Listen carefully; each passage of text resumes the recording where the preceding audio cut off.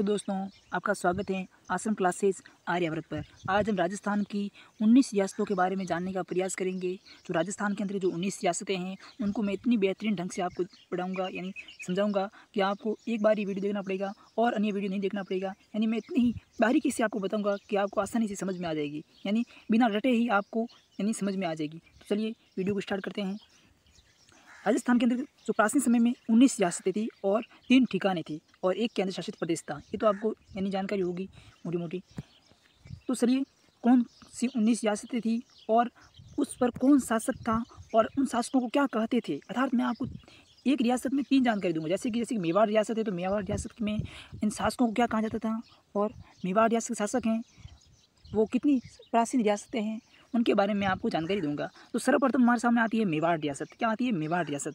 यह मेवाड़ रियासत है, यहाँ के जो शासक थे, उनको हम राणा या फिर गोहिल कहते थे। जैसे कि राणा प्रताप है, राणा उदय सिंह है, राणा सांगा, राणा कुंभा इस प्रकार इनके शासकों को राणा कहते थे। और यहाँ पे गुहिल राजवंश था। जैसे कि यहाँ पर गुहिल, यानी गुहिलों में दो शाखाएँ निकली थी। एक निकली थी रावल शाखा और एक निकली थी सिसोदिया शाखा। यानी सिसोदिया शाखा को शासक थे, उन्हें राणा कहते थे। और जो गुहिल शाखा थी जो सिसोदिया शाखा थी, उनके शासकों को क्या कहते थे? राणा और जो रावल शाखा थी, उनके शासकों को क्या कहते थे? उनके शासकों को कहते थे? रावल कहते थे। और इनका जो मुख्य क्षेत्र था, वो था उदयपुर। क्या था, इनका जो मुख्य क्षेत्र था, वो उदयपुर था। और राजस्थान की सबसे प्राचीन रियासत थी, ये भी कौन सी रियासत हैं? राजस्थान की सबसे प्राचीन रियासत हैं, वो हैं मेवाड़ रियासत। तो इस प्रकार, राजस्थान की सबसे प्राचीन रियासत, यानी मेवाड़ रियासत हैं। रियासत किसे कहते हैं? यानी हमारे सामने प्रश्न आता है कि रियासत किससे कहते हैं? यानी रियासत पढ़ रहे हैं तो यानी ये तो सबको जानकारी होगी वैसे बता देता हूँ। राज कार्य शासक द्वारा संचालित हो, वहाँ रियासत होगी। यानी जहाँ पर शासक राज कार्य संचालित करता हो, वहाँ पर रियासत होगी। चलिए आगे बढ़ते हैं। इसके बाद आती है बांसवाड़ा, प्रतापगढ़ और डूंगरपुर रियासत। इन तीनों रियासतों को हम एक साथ याद करेंगे। यहाँ के जो शासक हैं, इन्हें हम कहते थे महारावल। क्या कहते थे? महारावल। बांसवाड़ा प्रतापगढ़ और डूंगरपुर के शासकों को। इसके बाद आती है ये दो रियासतें। इन दो रियासतों को हम कॉमन साइंस से याद करेंगे, जैसे कि करौली और भरतपुर। करौली और भरतपुर हैं, इनके जो शासक थे, इन्हें हमें यादव राजवंश कहते थे। कौन से? यादव राजवंश। यहाँ पर यादवों का शासक था तो इन्हें हम यादव राजवंश कहते थे। इसके बाद हमारे सामने आती है अलवर रियासत। कौन सी रियासत आती है? अलवर।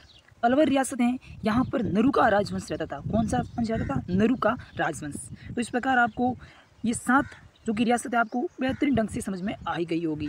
इसके बाद से आगे बढ़ते हैं आमेर रियासत। राजस्थान के अंदर आमेर रियासत है, ये जयपुर के अंतर्गत है और यहाँ पे कछवाहा राजवंश रहता था। कौन सा राजवंश रहता था? कछवाहा राजवंश। यह जनसंख्या की दृष्टि से सबसे बड़ी रियासत है। यह जनसंख्या की दृष्टि से सबसे बड़ी रियासत है और सबसे प्राचीन रियासत है, वो है मेवाड़। इसके बाद आता है हमारा भरतपुर, धौलपुर। ये दोनों रियासतों को हम एक साथ याद करेंगे। इस दो रियासतों को हम एक साथ याद करेंगे। क्यों? क्योंकि यहाँ पे जाट राजवंश रहता था। कौन सा रियासत? यानी राजवंश रहता था जाट राजवंश। यानी सूरजमल मिशन यानी यहाँ के शासक थे, जिसे जाट जाति का प्लेटो भी कहते हैं। तो यहाँ पे जाट रहते थे इन दो रियासतों पर। तो ये दोनों रियासत आपको याद हो गई होगी। इसके बाद आती है सिरोही रियासत। कौन सी रियासत? सिरोही।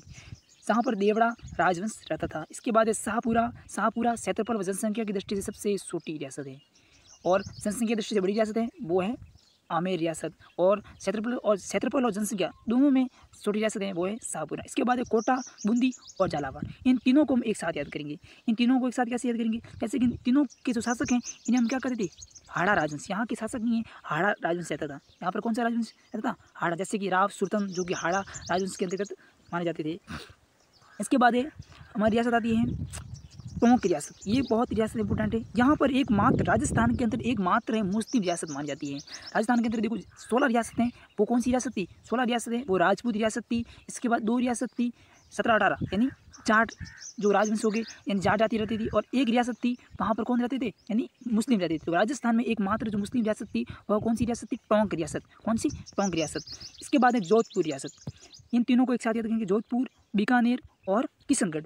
यहाँ पर राठौड़ राजवंश रहता था। कौन सा राजवंश रहता था? राठौड़ राजवंश। और यहाँ के जो शासकों को क्या कहा जाता था? राव। जैसे कि राव चंद्रसेन है, राव मालदेव है। तो इस प्रकार यहाँ के शासकों कहते थे। जोधपुर रियासत है ये मारवाड़ के अंतर्गत जो मानी जाती हैं, क्षेत्रफल की दृष्टि से सबसे बड़ी रियासत। क्षेत्रफल की दृष्टि से सबसे बड़ी रियासत कौन सी थी? जोधपुर छोटी रियासत कौन थी? शाहपुरा। तो क्षेत्रफल की दृष्टि से सबसे बड़ी रियासत है वो जोधपुर थी।